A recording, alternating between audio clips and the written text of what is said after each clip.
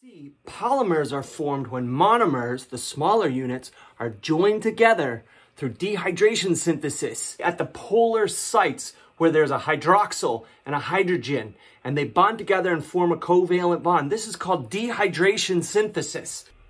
Um, yes, Stu.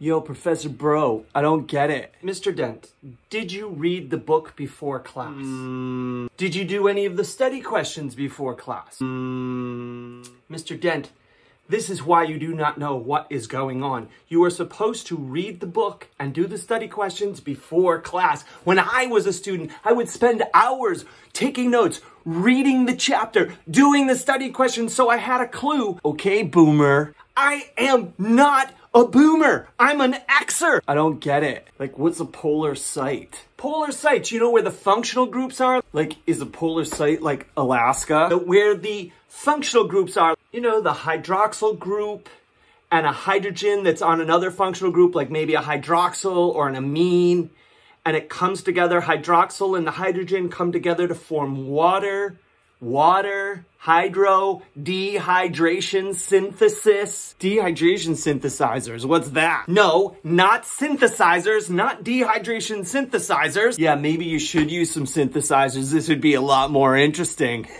Perhaps synthesizers are the answer. Whoa, that's lit. Are you supposed to be like the Weeknd or something? I'm not the Weeknd. I'm the weekday. Sing me blinding lights, bro. It's not blinding lights.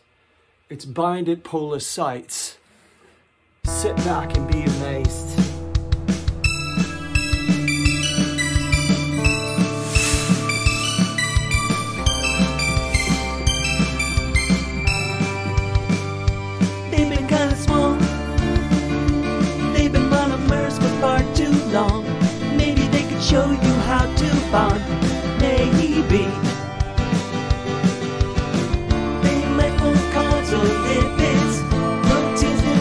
Nucleic acids. I see clearly how they bond. Oh, oh, oh, oh. Ooh, they bind at polar sites dehydration synthesis so much.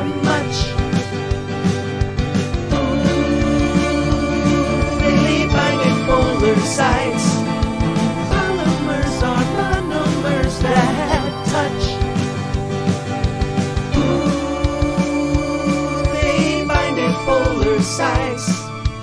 Hydroxyl and hydrogen form water there, oh, once again. Remaining atoms need electrons, share them in covalent bonds. These are the chemical rules to form large macromolecules. It's not dehydration synthesizers.